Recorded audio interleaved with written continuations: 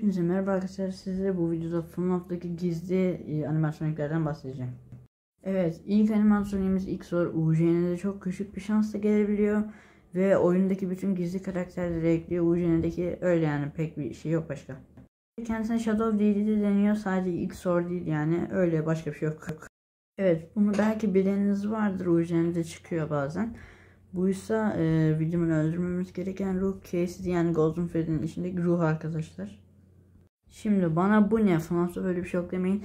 FNAF 3'te Shadow Bonnie'den bile az şansla çıkabiliyor. Golden Freddy olduğu tahmin ediliyor ama Shadow Freddy olabilir.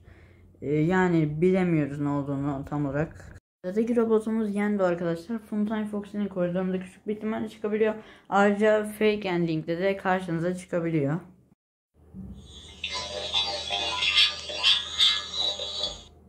Yok lan başka işim sana mı soracağım? Evet Yendo'ya da e, lafı bastığımıza göre sıradakine geçebiliriz. Bunu bilmeyeniniz yoktur diye tahmin ediyorum. Sonra birlikte çıkıyor arkadaşlar işte klasik Shadow Freddy RWQ AFC adını söyleyin abi bu kadar. Sıradaki karakterimiz de Shadow Freddy yine çoğunuz biliyorsunuzdur FNAF 2'den.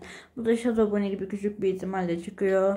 Öyle şimdi gizliliklerini ortaya çıkardığım için beni dövecekler arkadaşlar ne kadar komik ha. Neyse.